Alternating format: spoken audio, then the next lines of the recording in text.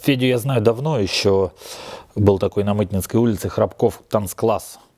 В, в ревущие 90-е я не танцевал, мы не танцевали с моими ребятами. Просто заходили туда на джемы посмотреть, как происходит э, обучение танцам, а, но не в классах, а на вечеринках. Потому что играли группы, в основном латин джаз, там вся наша сальса-мафия была питерская и, ну и чуть немножко свинга тоже. И там я Федю уже тогда видел. Имя его уже тогда было на слуху. И Spitfire, там, и Jazz Review, и Мессер Чапс, и, и Касса Латина мы очень часто проходили.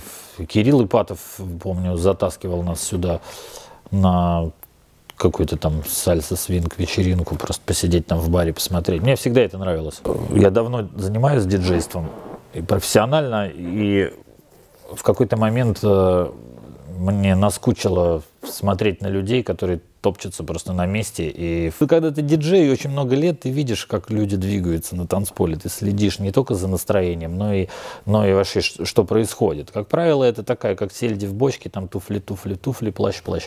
И, и все довольно-таки скучно и банально, и э, мало кто проявляет себя как-то интересно. А тут, когда ты ставишь а, танцевальную, джазовую танцевальную музыку, и люди начинают двигаться интересно, как надо двигаться под это, это, конечно, завораживает моментально. Это так здорово, это сразу так заводит всех вокруг народ, и так приятно на это смотреть. К этому времени я уже провел несколько таких вечеринок танцевальных, и все мне говорят, давай, давай, чувак, если ты хочешь играть для танцоров, то сам танцуй. И вот так вот я вписался в эту секту. Что я могу о Феде сказать? В двух словах, коротенько буквально. Наркоман музыкальный, алкоголик, тунеядец, беспредельщик, сальсо-фашист и свинговый убийца. Беспардонное существо, абсолютно. Всех нас подсадил на эту иглу, и с нее очень трудно слезть.